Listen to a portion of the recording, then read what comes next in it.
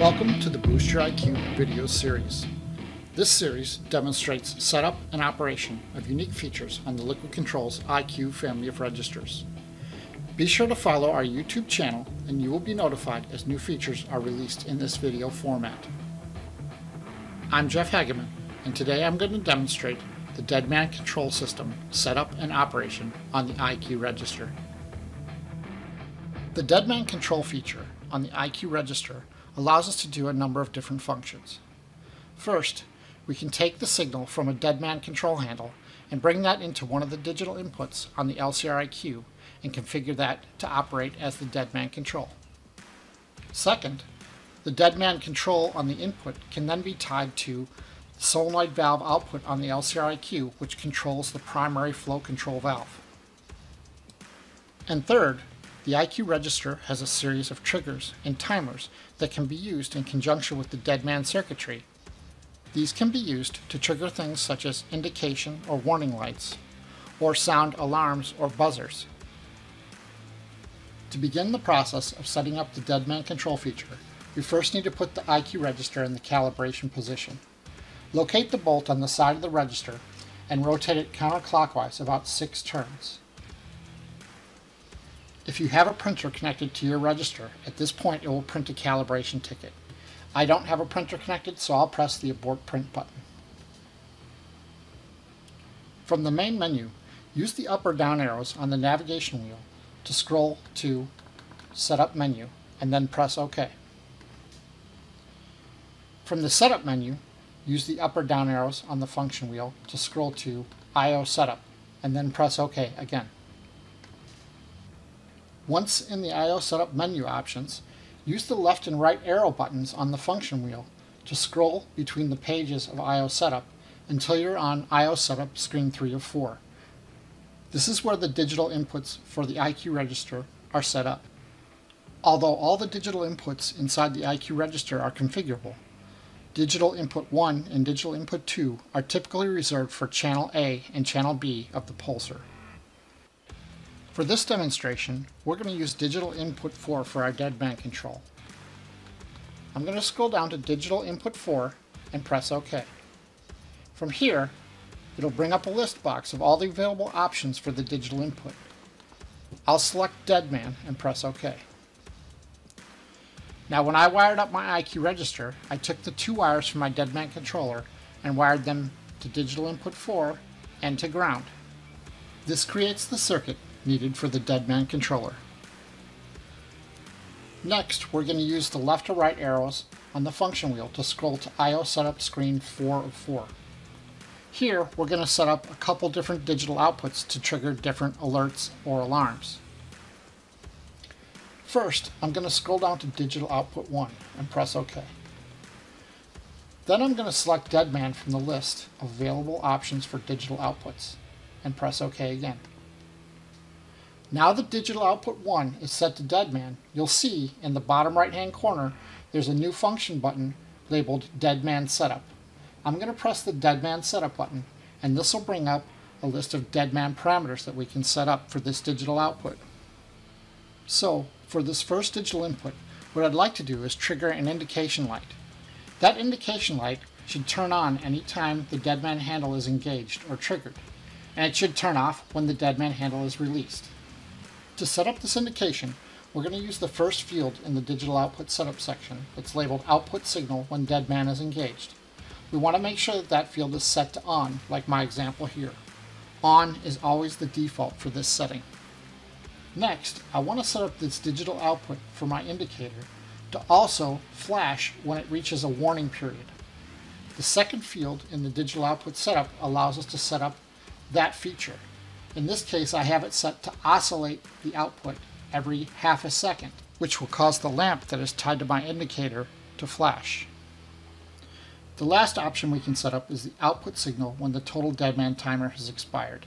In this case, we're going to set that to off. This will turn off the indicator once the deadman circuit is released. Next, I'm going to set up a second digital output for a buzzer.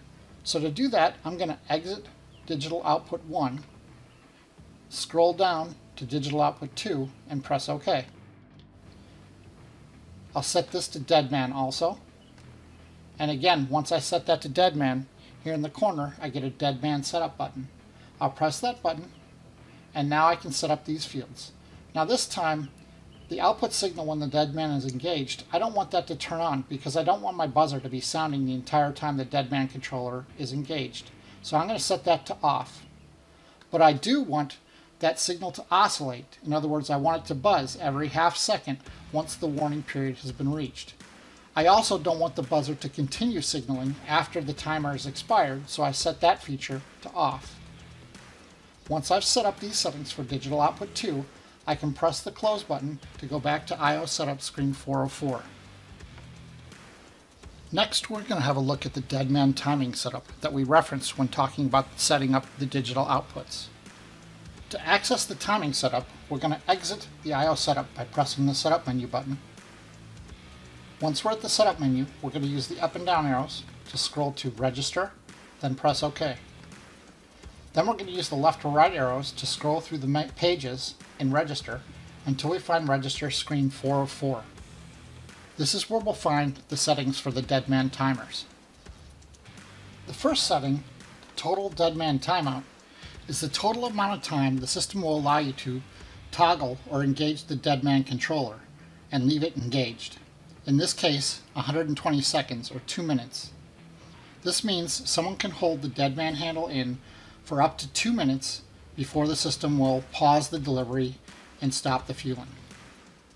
The next field, Deadman Warning Timeout, is another setting within the total Deadman timeout that can be set to enter a warning period. In this case, we have that set to 90 seconds.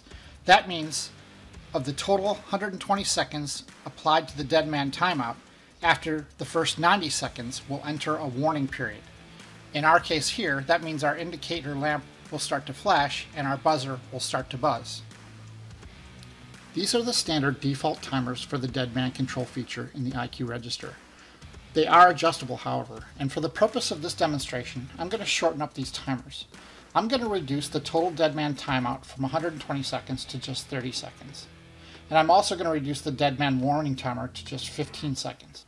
This means that once I engage the deadman handle, the timer will start, and after 15 seconds, it will enter the warning period, and after 30 seconds, it will pause the delivery.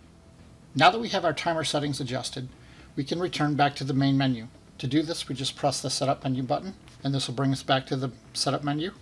Then we can press the Main Menu button, and this will take us back to the main menu. To get back to the delivery mode, we need to exit the calibration. So to do this, we locate the bolt on the side of the register and rotate it back into the housing clockwise until the bolt is snug against the front cover of the housing. If you have a ticket printer connected to the register, it will print a calibration ticket at this time.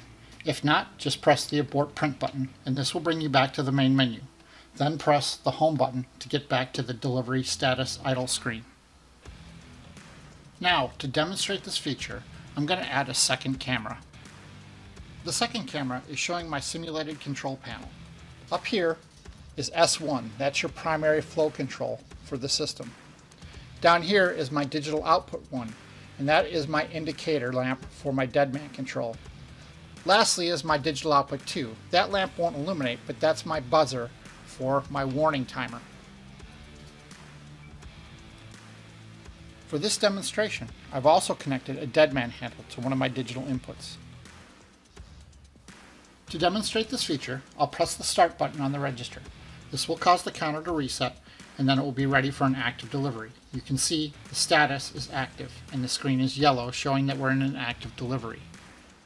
You'll also notice that on the control panel, my S1 for my primary control valve and my indicator for my deadman are both not illuminated, meaning they're not active. This is because I have not triggered the deadman handle yet.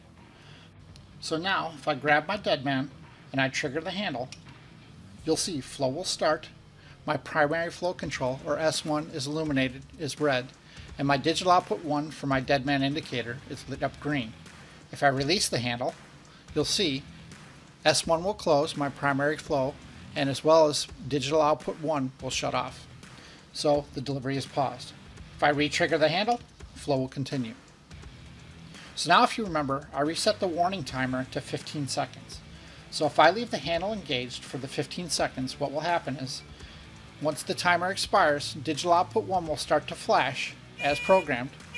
And now you can see digital output 2 is also engaging my buzzer. If I retoggle the deadman handle, the timer is reset and flow continues to flow.